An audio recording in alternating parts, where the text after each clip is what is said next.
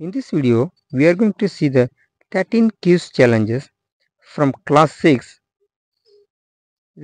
Diversity in Living World. Let's start the quiz. First quiz. What is the term for place where plants and animals live? Option A. Adaptation. Option B. Ecosystem. Option C. Biodiversity. Option D. Habitat. The correct answer is option D. Habitat. Second quiz.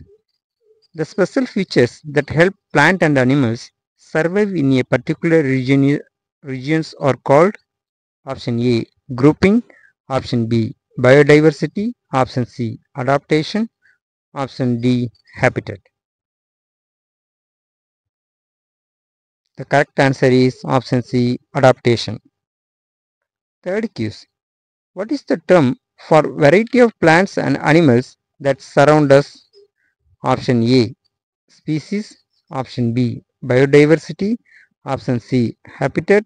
Option D. Ecosystem. The correct answer is option B. Biodiversity. Fourth quiz. The process of arranging things into groups based on similar features is called option A. Classification. Option B. Habitat. Option C. Adaptation. Option D. Grouping.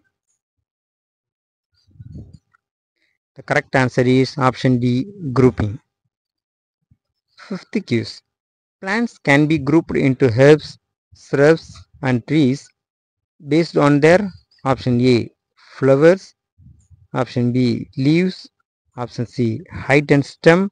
Option D. Roots. The correct answer is option C. Height and stem. Sixth quiz. How can animals and plants be grouped based on their habitat? Option A. Terrestrial and aquatic. Option B. Desert and forest. Option C. Mountain and valley. Option D. Only terrestrial. The correct answer is option A. Terrestrial and aquatic. Seventh quiz. Plants with one cotyledon in their seeds are called option A. Dicots. Option B. Monocots. Option C. Herb. Option D. Shrub. The correct answer is option B. Monocots. Eighth quiz. What is the characteristic feature of monocotyledons? That means monocots. Option A. Reticulate venation and taproots. Option B. Only one type of root. Option C. No cotyledons in their seeds. Option D. Parallel venation and fibrous root. The correct answer is option D. Parallel venation and fibrous root. Ninth quiz. Damage to habitats leads to option A. Loss of biodiversity. Option B. Increase in biodiversity. Option C. No change in biodiversity. Option D. Increase in population. The correct answer is option A. Loss of biodiversity. 10th quiz. Protecting biodiversity helps to option A. Reduce pollution. Option B. Increase human population. Option C. Maintain ecological balance. Option D. All of the above. The correct answer is option C. Maintain ecological balance. 11th quiz. True or false? All plants have flowers.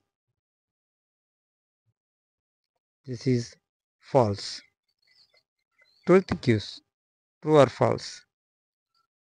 Damage to habitats result in an increase in biodiversity. This is false. 13th quiz. is fill up. Animals that live in water are called dash. The correct answer is aquatic. That's the end of this quiz video. Please click like button if you enjoyed this video. Thank you.